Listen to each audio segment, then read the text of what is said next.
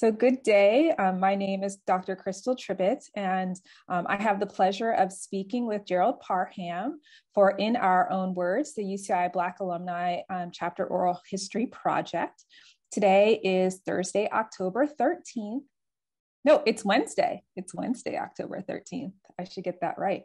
Um, so, thank you so much for speaking with me today, Gerald. It's a pleasure to be here with you. Um, I'm going to start off with some uh, uh, easy well, questions. You. Oh, you're welcome. Okay, easy questions. That's that's good. All right. Um, so I'm just going to say that last line again and say thank you very much, Gerald, for joining me today. Um, and I'm going to start off with some easy questions about your background. Um, so, can you tell me a little bit about, um, you know, where you grew up, Gerald? Where are you from, and what was life like for you as a youngster? Um, great question. Uh, let me be clear: I am still a youngster. um, born in New York, youngest of four kids to uh, Sadie and William Parham. Uh, parents separated. Mom moved from New York to LA. So I grew up um, most of my formative years in Los Angeles, kind of all over LA, from the projects in East LA to parts of South Central to Miracle Mile District to um, the outskirts of Beverly Hills by the time it was all done. Uh, growing up was, um, well, you know, when you're poor, but you don't know you're poor. So for a single mom with uh, really a high school education and maybe two years, a year and a half of business college, um, who spent her life working for the government 33 years and raising four kids who are all literally stair steps. My parents had four kids in three years. So um, if you can imagine a single parent doing that on her own, um, it's quite a chore. But um, because of that, I think we learned very early on uh, how to be responsible and how to care for family. Everybody had to do something to contribute to the functioning of the household or to the, you know, we couldn't go out and play. We didn't have a lot of toys. We had house chores. So from doing laundry when I was in the fourth grade, I had to wash my my uniform because she had pulled me out. I was the guinea pig, gotten pulled out of um, public school into Catholic school. So learning to take care of myself and having to do laundry and cook, et cetera, et cetera, was were things that we all did, and we didn't think it, it wasn't uncommon because we didn't know that we didn't have to do that or that there were people in families that did that for you or whatever. So, which is part of how we grew up and what we needed to do. So. What was your family philosophy, if you had one, about um, about education? Um, it was paramount. I mean, clearly, my mother um, not going to college was not an option for us. And so um, we compromised growing up because I was, um, all of us really, my brothers uh, mostly, um, one of four, there are three boys and one girl. So um, we, we, were very much interested in sports and athletics. And we finally had to convince my mom because I was um, a reasonably good athlete then, and so I had even elementary school coaches and wanting me to play football, basketball, whatever. And my mother was like, "You you you're in, you're in here for school." So my grades got better when I was playing sports because I guess I had more responsibility and had to be held accountable for that. So when we figured that out, then I was able to play and kept my grades up. So education was clearly um, something that was stressed and, and valued. And again, we didn't have an option to not go somewhere. And you've you've mentioned your siblings. Can you tell me your their names? Uh, my oldest sibling is uh, Pamela. Um, next is Dr. William Parham, who is uh, faculty at LMU and chairs the NBA's mental health and wellness program the brother that's 11 months older than I am is Dr. Thomas Parham, who um, served as vice chancellor of student affairs here at Irvine for a number of years and is currently president of Cal State University Dominguez Hills. So, education was clearly um, really important um, for you all. And um, in high school, did you know what you wanted to study and where you wanted to go to college? Um, sort of. I mean, my, you know, people have high school yearbooks and you write like what you remember from high school. And I think mine was a little prophetic for a 17 year old because I didn't have memories of high school. I had my memory written in my yearbook was becoming more aware of life and myself.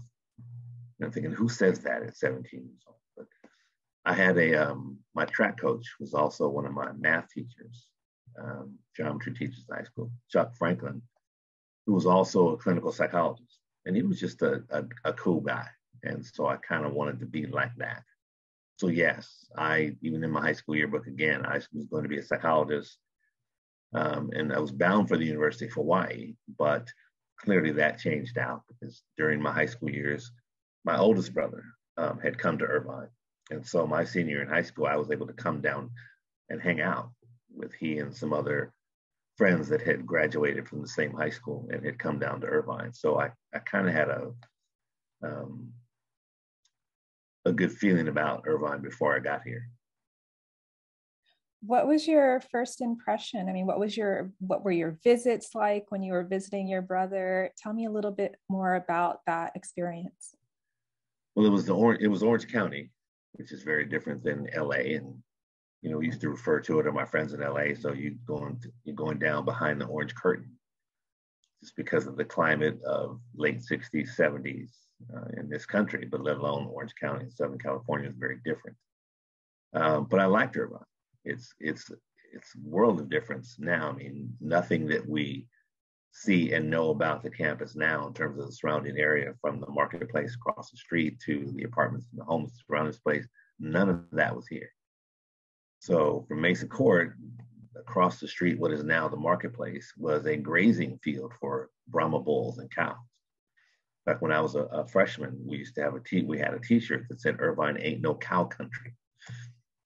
So uh, it was a very different environment structurally, and um, very little was here. But it was a small enough campus, and knowing people, it's always nice to have, you know, people you know. So you kind of have a little bit more security, a little bit more confidence, um, just because you're not completely unfamiliar with the people or the environment. So it was it was a good precursor to my coming down.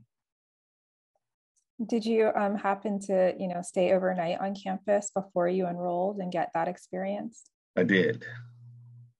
Again, I, when I came down for the weekends, I was hanging out in dorm rooms because I knew people. Um, so it was fresh. It's good. It was small. I mean, I think um, one of the benefits, even when I got here, was um, because it was such a small community, uh, particularly for Black or African American folks, that Mesa Court was the only residential community here. They opened Middle Earth in 1974. So I had sort of a natural mentorship. So when I moved in my freshman year into Sierra, I was still living in a Mesa Court community that had um, sophomores, juniors, seniors, and grad students who were like me. And so I had sort of a natural kinship, a natural mentorship, which is very different than as the university has grown you know, exponentially clearly, Mesa Court is all freshmen. And so there is no structure like that where they have a mentoring kind of a group that's kind of natural to the environment. Mm-hmm. So, so I think it's a lot more challenging for freshmen these days to find those outlets and those networks or to have those relationships with students that are older um, and like them because they're just, you know, by the time you're sophomores and juniors, you want to move off campus so it become harder to find and resources. So it was, I think it was an excellent opportunity for me. I'm grateful for that. So, um, what would you say was really um, tipped the scales in terms of you deciding that you were coming to UCI and you weren't going to Hawaii because Hawaii is kind of nice. Hawaii is kind of nice. Um, it's expensive uh, paying out of state tuition is one thing, and you don't think about that when you apply. You just like Hawaii sounds like a great place, and you know, kind of get away. Um, but I think proximity was just far enough away from home, right? Because LA to Irvine was like a 30, 45 minute ride. and again, having um, the additional friendships and relationships I have with people that were in my brother's classes, or even people that I knew from. Um, I went to Catholic high school, so it was all boys, but there were Catholic girls' schools, and some of those friends that I knew had also come down to Irvine. So again, it was we were able to come in on a six-week, six weeks prior to uh, school starting. We came in on a um, incoming program for minority students, which we were referred to at the time, and able to experience the campus and take classes and just kind of get a head start on what that environment is going to be like. Do you remember what that program was called? I don't, um, but the head person of that was Chester Fontenot, F O N T E N O T. Um, just an impactful African American teacher that was uh, I think he just did, he cared about what he did in trying to help us understand how to adjust to Irvine, believing we were going to do that because we got into the institution. But understanding the transition was a little bit going to probably be a little bit challenged because it's an environment we had never ever really been in. So did he offer advice to you? And if so, kind of what was it if you recall? Um, I'm sure he did, but but um, off the top of my head, I'd have to really kind of go back and, and search for that.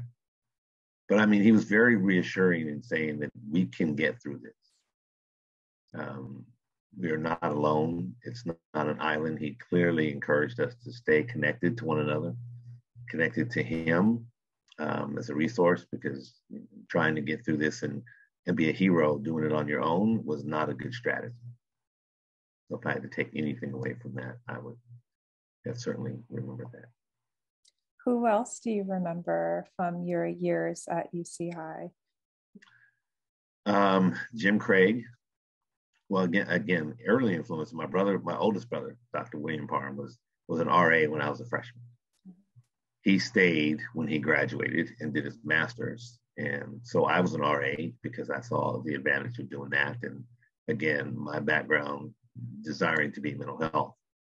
Um, RA was a good way to work with students and have that kind of impact or influence.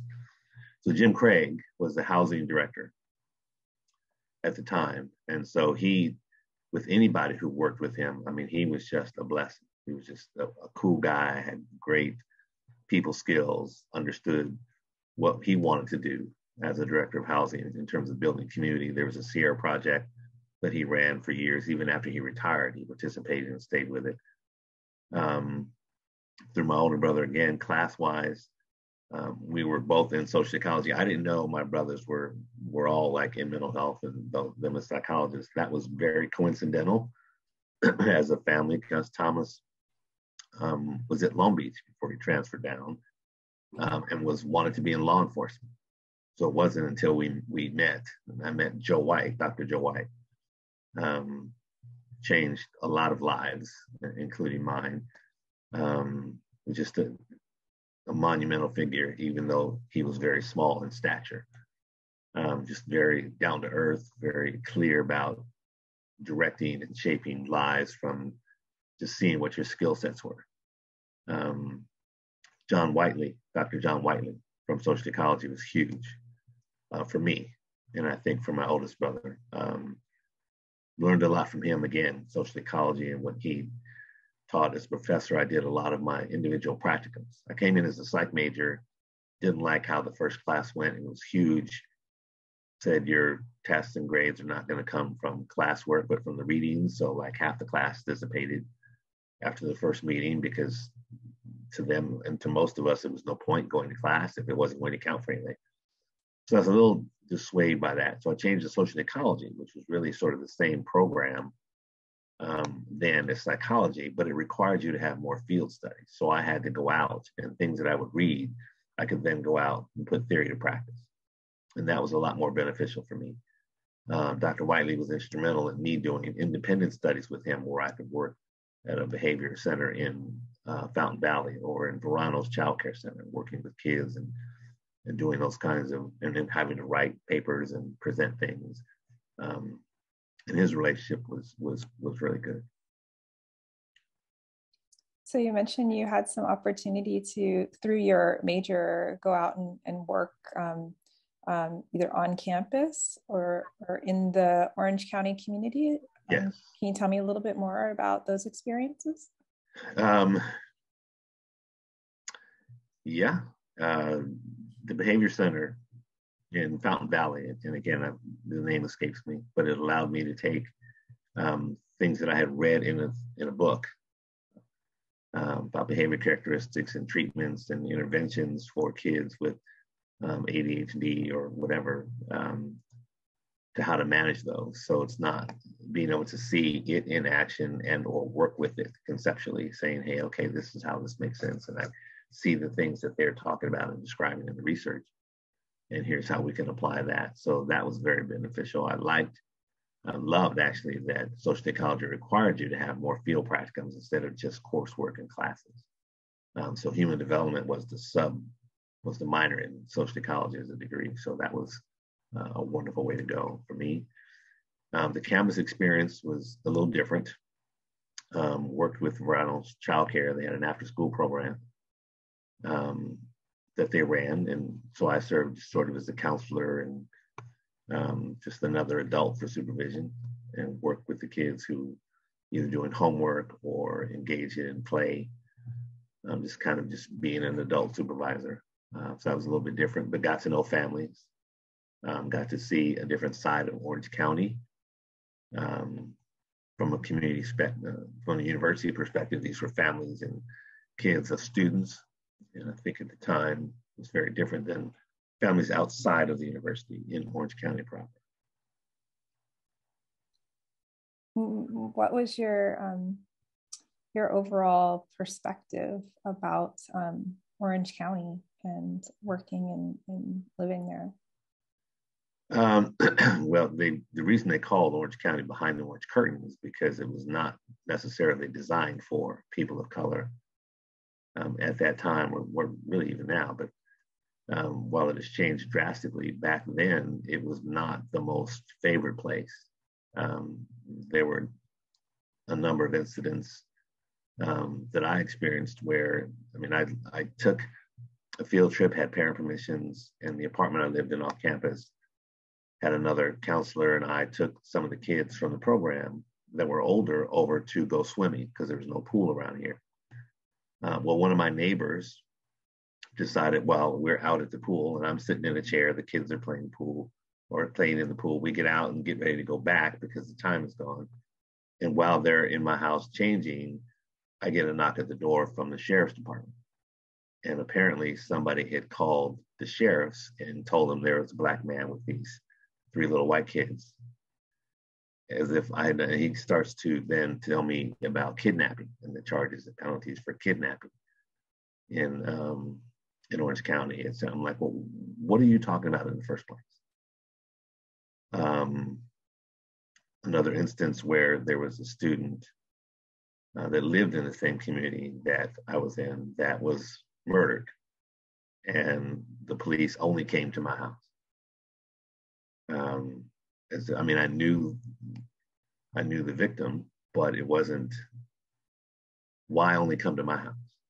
I was we weren't neighbors. We just lived in the same community. But I found out that I was the only house that they came to investigate because someone reported here's another, you know, black male or African American male that lives in the community.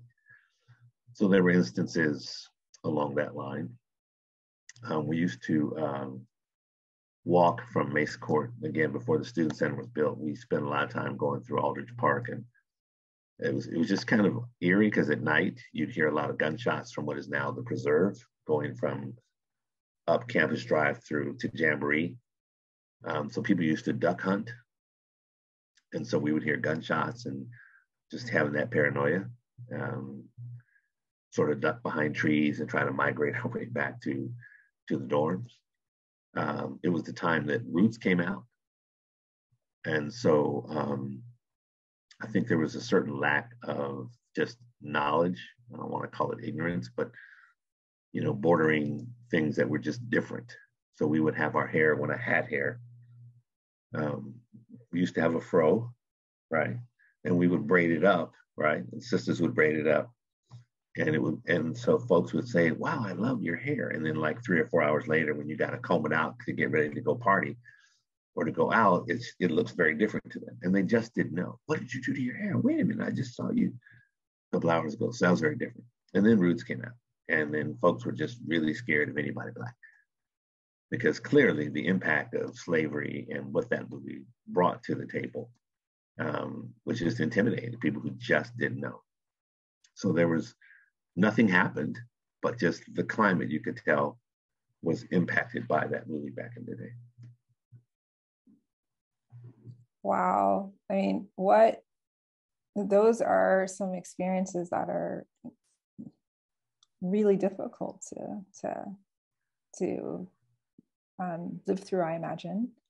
Um, how, what kind of support did you have within the UCI, like Black community? Tell me about, um, um, you know, how you all got along on campus um, at that time. We, we got along really well. Like I said, living in Mesa Court, Verano Place was the only other residential community really until they opened Middle Earth. So Mesa Court was it. And so to move into a community that was sort of a natural family, if you wanted to refer to, I call it a family because again, I had sophomores, juniors, seniors, grad students who were all living in the same community and all really kind of going through the same things. We took intention to care for one another. So there are friends from back in the day that I'm still in touch with now um, because those relationships were impactful and important enough to um, to do things and keep it that way. Part of that was the activity too. I mean, I, I ran track, so the Shirley family, James Shirley, who's clearly an active alumni member now, his brother Ron, um, Isom Taylor, I mean, just Jackie Jackson, I mean, um, Aldridge Patterson, Larry Jackson, uh, it was just a, a good uh, a good space. And, and again, we used to have one of the things I'll remember is uh, because there was not a lot out here in Orange County, and, and, probably still isn't, at least not close to the campus. So weekends we would turn the commons, what the old commons was, Mesa Commons, into what we called the ghetto. So Jackie Jackson was one of the older students, a couple years older than I, and was a disc jockey. So he would, we would turn it into sort of a nightclub, and so people would come and dance, and we'd party and that kind of stuff. It got to the point where even the community from Santa Ana started to come because it was better than the nightclubs that were out in the community. Um, and part of that, I think, was you know guys wanted to see what college girls look like. Um, but that was a, a nice part. Um, running track was a, a good part for me, meeting the relationships, uh, the guys that I ran with, Damon Williams, Hank Paul, um, again, Shirley's. Um, that was a, a, huge part of what I was able to uh, enjoy and, and continue to remember, I think, the impact in my growth and development over time. Were there other social activities other than the um, other than the ghetto that you remember? Uh, yeah, we uh, probably the most memorable one, other than the weekend uh, sort of nightclub things that we call the ghetto, was Black History Month. Um, was huge for us, and there was a, an African American cook named Jimmy in the Commons. Uh, we remember him distinctly because he was bow-legged, um, short, but he could cook. And so we one year decided to have a Black History celebration. And so we had a soul food picnic. We invited uh, the BSUs from Long Beach, San Diego, and USC to come down and just kind of hang out, have a little intramural basketball tournament or tennis. And we did all the cooking. Jimmy let us in the Commons, showed us how to do whatever we were going to do. So we made all the food fried chicken, potato salad, greens, which were hard to find out in Orange County back in the day. Um, but we managed to get all that. So we had the picnic in Aldrich Park, and we culminated it with a concert in Crawford Hall with Kool and the Gang. So um, that was I mean, if you can imagine a group like that back in the 70s when they're kind of at their prime, filling up Crawford Hall because it was the only space that you could do anything indoors uh, of that size. So it was a phenomenal success the entire weekend. Um, and that was probably the most memorable event. Um, what year was that? Do you remember? Uh, I think 74. Mm-hmm. Yeah, 73, 74. So I know I, I was an RA, so I had to, let's see, 73, 74. So 74, 75, because 75, 76, I was, um, I ran with another group of RAs and was elected uh, student body vice president for administrative services. So I think I was, I think I was the first African American to hold an executive office in ASUCI. What was that experience like? Um, what did what was that experience like? Um, what did you do? What was your your job? I was sort of the lia- I was sort of the liaison person to administration. So I think part of that legacy ended up being getting permission to build a student center. And while it took years after that to do that. So I think they recognized it was really trying to take what students were saying they wanted and how do we then package that to present it to administration in a way that says this is something we need. It's beneficial. The campus growing. And here's some needs that are identified by students. How do we make that happen? It was the first time I think a group of RAs had run as a team in a ticket, and all of us won all of our positions.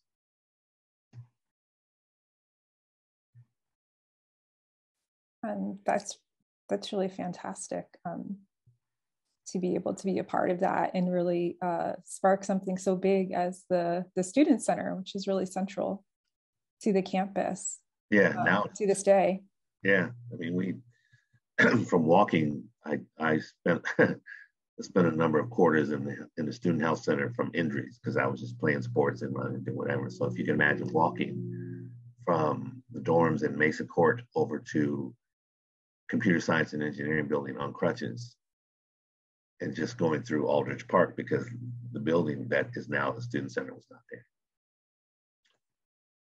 So it was an interesting, the, the campus now, just by growth and development, is is clearly a testament to a master plan or whatever they wanted to do. But back in the day, there literally was nothing out here. So you were walking, and even when we ran track, we we, we ran to places that's now like Mariners Church used to be a landfill but that was the hill, Newport Coast, was where we used to run up as part of practice. Uh, the farm school, which is now just a couple of buildings right next to the Ark, um, used to literally be a school. And they had live animals and horses. And so, yeah, it was just a very, very different environment. Um, how do you feel that your affiliations and and involvement, even your major, has um, shaped your relationship with the university and your career trajectory? Um, it's been different. I think when I came back, I went to I left California to go to grad school at the, to do my graduate work at the University of Florida in Gainesville, which is by comparison, it was like coming back to Irvine all over again because the University of Florida, while is a huge university, Gainesville, Florida is a small college town. Um, very much very rural, very country, maybe 40,000 students at the time in Gainesville, but people in the surrounding suburbs would come to Gainesville because that was their version of coming to the city. Where for me, going to an environment with that small of a population, I'm thinking my neighborhood is bigger than. So that was very different um, coming back in 98, I've now been at the university of little for 23 years um, in student affairs. And again, we talk about networking and people. When I came back, I started as the director of Palo Verde Housing in student affairs. And the person who brought me back was Jim Craig, who I had served as an RA for when I was an undergraduate. So again, having that network, knowing what was going on. So I came back in 98 as the director of Palo Verde Housing um, and then met phenomenal colleagues from um, Lisa Cornish, Beverly Cheney, um, colleagues that I worked with who are also directors. Lisa was executive director of housing, uh, undergraduate uh, housing. Beverly Cheney was the director of Verano Place Housing. So as a team, I got to work with with them and and uh, learn their expertise and manage a community that grew from 204 apartments to 652 apartments by 2005. So adding, taking, um, if somebody had said I would be in property management, um, going to school to get a PhD or to do graduate work in mental health and psychology, but it gave me an opportunity to come back and say, okay, there's no Res Life program here. This is a chance to work with residents. So I get to take, and while in Florida, let me back up a minute. While in Florida, part of what I needed to do was work to pay to go to school. I didn't have scholarships. So part of the jobs I ended up having prior to my coming back was working for a real estate developer where I was doing property management, both commercial and residential. So when this particular opportunity became available um, to come back and work in housing, it was like, well, if somebody had told me I could pair the two. So now here's what I did to pay for school was learn real estate property management. Now I get to come back and manage an apartment community, but also use my mental health background and training to build the res life component and working with residents. So we had residents that were, you know, from Korea living with residents from Tennessee who were grad students. So the cultural differences, the relationship kinds of dynamics that go on um, for those kinds of um, instances or situations, I was able to now manage and navigate again using my mental health background as well as my property management stuff. So it was a, a godsend to me. It was a blessing to come back and be able to start and utilize both careers in a way that I was able to do. And you're still here, yes. So tell tell us about um, uh, your your current work at UCI and um, um, you know, what keeps you here? Um, what um, kind of fulfills you um, here at UCI?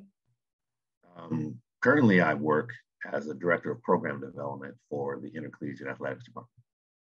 In that capacity, um, principally, I oversee all of our summer sports camps for kids. When I transitioned over to that uh, position from housing, it was with the intent, their intent was to um, increase participation with kids in the community uh, and revenue because it's a way that coaches get to supplement their income. Coaches are on contract, so they're not like the career status that you or I may have. So I said, okay, I, I can do this. So I did my little research and went around to programs in the community and other universities and college, Long Beach, Fullerton, Concordia, even UCLA, San Diego, because they all have summer camps, uh, local community agencies, YMCA's, Boys and Girls Clubs. What were they doing if they held summer activities or summer camps for kids? And what were they doing, if anything? What were we doing different that would attract or make someone want to come to UCI? And um, we weren't really doing anything different. Um, so how do you market that? Well, part of the administration was saying, well, you got to put it out there that we're NCAA Division One coaches and athletes, man. But so is Long Beach, so is Fulton. So really, what's different? What's going to make them come here? You know, we don't take the kids to the beach. We don't go on field trips. So what were we doing? So with my background in housing and knowing how students are coming to campus, talk with some police, and administrators and discovered that um, freshmen and transfer students were not making the adjustments very well. So there was a statistically significant increase in um, alcohol abuse, substance abuse, and in some cases, domestic violence. Some people say, well, then they can go to the counseling center to get help. Uh, but counseling center data, at least as of 2015 16, therapist to student ratios are 1 to 1600. So it's not that it's bad, it's just not adequate to meet the demand. So I started thinking again, this is the, the mental health person and the human development and child development kind of stuff. I don't believe these kids are just coming here to and, and going buck wild because that's what they do. I think part of that is parenting and how they're growing up. So again, um, and I think people have developed a program to make a long story short called the Clear Academy CLEAR is an acronym for character, leadership, education, advocacy, and responsibility. So I think when kids come to college and they start making decisions to get involved with substance abuse or drinking and get out of hand with it, it's sort of a lack of character. To me, it's a lack of uh, leadership because when when one group does it, somebody wants to do it because we all want friends. We want to be liked, so we kind of follow the crowd, which is really not leadership. Takes away from the um, reason you're here, which is education, the value that that has. The A is advocacy. How do you stand up for yourself? How do we not become a follower, but become a leader because I'm here for a different purpose?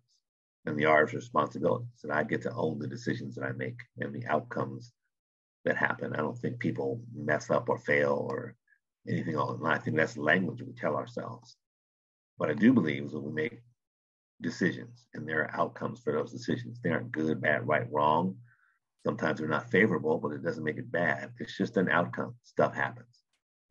So we become informed consumers whenever we get that new information from making a decision.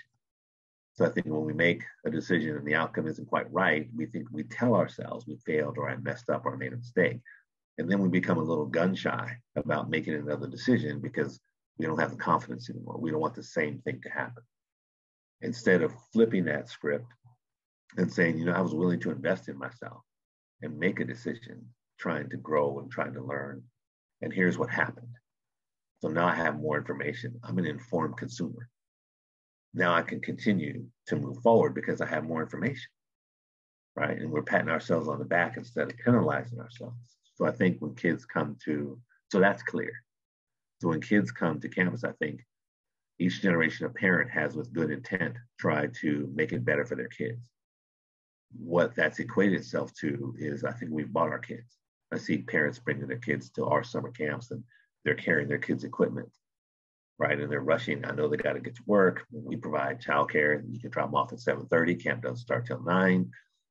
Camp ends at three. You can pick them up as late as 5:30. There's no charge for that. So the time management piece is one. But if your child's old enough to come to camp, they're old enough to be responsible for their equipment. So I'll ask the kids, I'll stop parents and say time out. And we're, here's probably what we're trying to teach responsibility. Then I'll ask the child who's responsible for their equipment, a parent or the, or the athlete and they'll say the athlete. And I'm like, so why is mom or dad carrying your equipment? So they grab it. And, know, parents hear that and they're like, yeah, kind of thing. So um, we've done some post for the last six years. Um, we've done some post camp survey assessments, and it's now become the number one reason parents are sending their kids to our camps because that adds the value um, when they're they're not just coming to play all day. It's not a babysitting service. We're actually teaching them what I believe are transferable life skills. That while the majority of them will probably never play collegiate sports or be professional athletes, they will go to college, and we want them over time um, to make better decisions. So, information is repetitive. If I said, "Crystal, do you have a favorite song?" How many times did it take you to listen to it before you learned the words? Could you say one time? So it's about repetition. So if these kids hear this language and these concepts about character and leadership, education, advocacy, and responsibility over a week while they're at a camp and they hear it every day, all day, and they hear it at whatever camp they're at. Some parents, they're baseball one week, soccer the next, basketball the next. They're going to hear the same message. That makes a difference. Um, that's kind of why I parents, and I love what I do. I love seeing these kids come back. I like parents that and say, hey, thank you. Don't know what you did, but my kids are going to bed. They're not fussing about what they eat because we talk about nutrition and hydration and how these kids, even so young, can begin to take responsibility for the kinds of things that they happen if they want to be not just better athletes, but to be the best persons that they want to be. Uh, that sounds like a really fantastic, fantastic program. Um, and I know it's very pop, very popular. um, so um, congratulations on your success success um, with that program as it continues to, to grow. Um, you've been, um, you know, at UCI or, or, been able to experience UCI and its growth over, um, you know, some time. And so um, I'm wondering if, you know, if you could reflect for me on what you think, you know, some of the major changes or accomplishments um, are of the university have happened over um, the years that you've been here as a whole, but also, uh, you know, specifically for for the Black community here? Well, okay. Um, let me start by initially saying, and, I didn't intentionally mean to leave this out, but um, in 1974, we were part of the crew. I was part of the crew that actually formed and started the Cross Cultural Center. Um, we were in trailers, um, sort of by what was the Disability Services Center or over by Humanities. And so to see the actual building now that is the Cross Cultural Center is a huge development. Recognizing that, again, they have the Joe White Room in in that building. When I would advocate that the entire center needs to be named Dr. Joe White Cross Cultural Center, the influence he had across cultures on students, putting in several through you know, graduate programs and having a pipeline, whether it wasn't just African American students or Black students. Um, but that's another story. So to see those kinds of changes happen as the campus has grown, uh, I think are instrumental. Um, and I need you to repeat the second part of that question. All right. So the question was about um, the the the growth improvements um, you know major accomplishments of the university over um, the time that you've been associated with it uh, in general uh, but especially thinking about um, African Americans yes um, I think just even even people in positions you know um, Dr. Drake the first African American chancellor in the UC system was huge. Um, there were predecessors to my brother, Dr. Thomas Parham, being vice chancellor with Dr. Horace Mitchell um, being here. So I think um, the hiring, you know, we, we talk a lot about um, diversity and inclusivity here. And while there have been strides made, uh, I think there's a lot more work to be done. The resurrection, so to speak, of the Black Faculty and Staff Association uh, a few years back, which I think it started in 1980, and then kind of resurrected that, and I was president in that group um, for a number of, of years. Um, and I think it is, again, the leadership now with Dr. Kevin Bradford out of business. So getting the Black community more engaged, more connected, I think has been huge. Um, firing, not, not firing, the hiring of more faculty and staff. I think Dr. Douglas Haynes has done uh, an outstanding job in terms of outreach and trying to create visibility. Um, the tough job is though is that you can't just focus on one group. So throw out of his office with the affinity groups that when Black overseas uh, out of OEOD, I think has been another way to kind of help connect the dots. Um, so again, they're making strides. The, the challenge for me is really how do we get better? I know that the, the, the politic of education says that, um, and this is in no way slight on other communities or other cultural pieces, but we um, are now a Hispanic serving institution, which means that 20% of the population is of Hispanic or Latin origin. But as African Americans, we are still at the same two and a half to three percent we were when I was an undergraduate. So when we're talking about 250, 300 kids, when there were 6,000 students here, to have that same percentage be the same 50 years later is a little alarming. So while there are small visible pockets, I think the the addition of the Center for Black Cultures Resources and Research is huge. Um, it's a great start. Again, it's another resource for students that are here. But how, when do we put the effort into intentionally making this, you know, an African American or Black culture serving institution, much like it is a Hispanic serving institution. So I, while I do little things to try to work with, engage myself with the community that is here, on a larger scale, I want to figure out how do we get the campus to be intentional about literally don't make diversity, inclusivity a politically correct buzzword when the actions and the information doesn't translate into what we're doing. Um, thank you for that reflection. Um, uh, you mentioned, yeah. Oh, I don't want to cut that you answer, off. Did that answer your question? It did. It did. Okay. Right. It did. Um, I mean, you you mentioned um, Dr. Douglas Haynes, who oversees the Office of Inclusive Excellence, um, and they have you know a Black Thriving initiative currently. Um, right. Um, and uh, what are your thoughts on um, how Black students, faculty, staff, the community here at UCI can thrive? Well, um, there's a there's another there's an additional initiative that has been spearheaded by Dr. Michael Yassa called the End Racism Initiative. Um, and while both, I think, collectively offer insights and opportunities for people to get better at understanding Black culture and being sensitive to dynamics, part of what I, I haven't seen is a significant portion of the Black community in this campus be engaged in those things there are certain professors um, that are instrumental and active with those groups. Uh, but I see a lot of non African American people that are also sort of championing those initiatives. And so, how do we engage more of us to be involved in in the community, changing the dynamic and the fabric of what it is? I think because we are we are here, but we are few.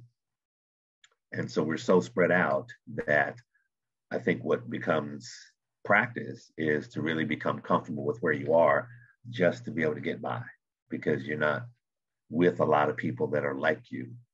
Um, so your relationships are very different. And it's easy just to kind of get to do your job and then go home or do whatever it is you do that's detached from the university. So staying engaged and really making this place something that's different. So on one hand, it's it's challenging because you want to be, you want it to be more, you want it to, to be something that you're more engaged with. But at the same time, it's like it doesn't present something that offers you that challenge. So it's, it's almost like a Gandhiism says, be the change you want to see. Things aren't going to happen if you don't contribute to the development and the growth of that.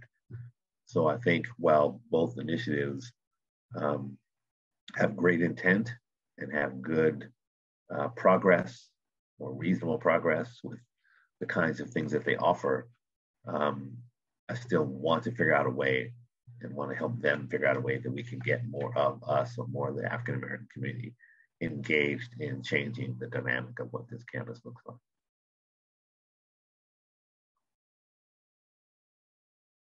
Thank you. We've we've covered so much um, during our conversation. Um, but I want to make sure um, that we've covered everything that you wanted to talk about. Um, so, is there anything that um, we haven't discussed that you that you'd like to reflect on? Uh, no, actually, um, I think from the questions ahead of time, and, this has been refreshing. I'm certainly glad that you know, things like this, you know, I'm saying, how do we change that fabric? This last segment that we just talked about, doing things like this uh, so we keep a history so that students or families who come will know that we've been here all this time and that we still need to make a difference. I appreciate you. Um, you're you're like a well kept secret. You're in the library. You know, people don't know because we don't go to the library. so, how do we get you? How do we get people to know you? How do we get people to know the resource that you are and the opportunities that people can have to feel connected, to find information that says, you know, we're not alone, we're still here, we're making a difference, and we're going to be here. So um, I, I love this project. I'm, I'm still trying to get people to, people out of my era that were here to say, hey, here's what's kind of going on. Here's another way that we need to do this. I'm not sure who has done this already, but people like Harry LeGrand um, would be instrumental. He's he was an RA. He's one of my RA mentors when I was here, he was an RA with my older brother Bill, so they're connected. Um, he's done well. So the black folks that have come here, even from back in the day, that have gone on to do demonstrative things, is, is a byproduct of the UC education, UC Irvine education specifically. So there's Dr. Juanita Watts, Dr. Rodney Armstead, Steve Washington. My old college roommate, Gordon Jackson, still does my taxes. So the kind of relationships when I do my taxes, so the kind of relationships that you form, you know, at that young age to be able to still have those people, you know, this many years in your life, I mean, is a testament to how we are and who we are, uh, both as a people, but, but also how we survive an environment to collectively come together so that everybody gets through it. It's not just one person and sort of the Eurocentric view of individualism. It is a collective and a community. I think the more that we see that and can generate that kind of a feeling, I think the better the growth of this community, the African American community on campus will be. As long as I'm here for the next four years to try to make that happen, then I'll do what I can. Thank you so much for your kind words. Um, I really appreciate it. Um, and it's it's definitely a pleasure and an honor to be uh, to participate in this project. Um, I have one more question for you, and okay. um, that is if you could describe your UCI experience in three words, what would those be? That's a tough one. Um, are we talking just my complete experience from both as an undergraduate and now a staff person for the last 27 years? Yeah, sure. Um, wow, three words.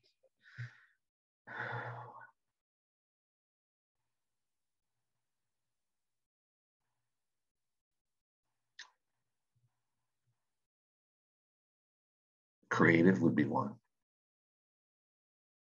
Um, experiential would be another one. Had great experiences um, and continue to do that as this campus continues to grow and and shine. And um,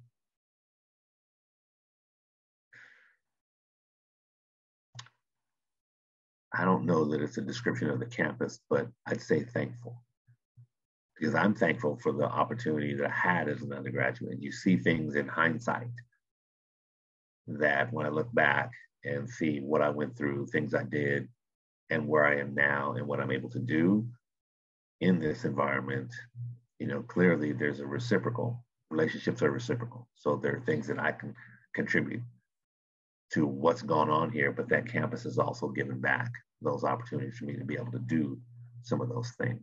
So that's my story, and I'm sticking to it. Perfect. Perfect.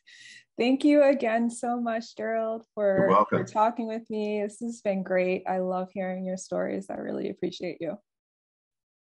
Yeah, and I'm sure I left some things out, but you know, when you get old, there's no prescription for getting old. So I don't remember everything. Next time. This was fun. Thank you. You're welcome. Have a great day. You too.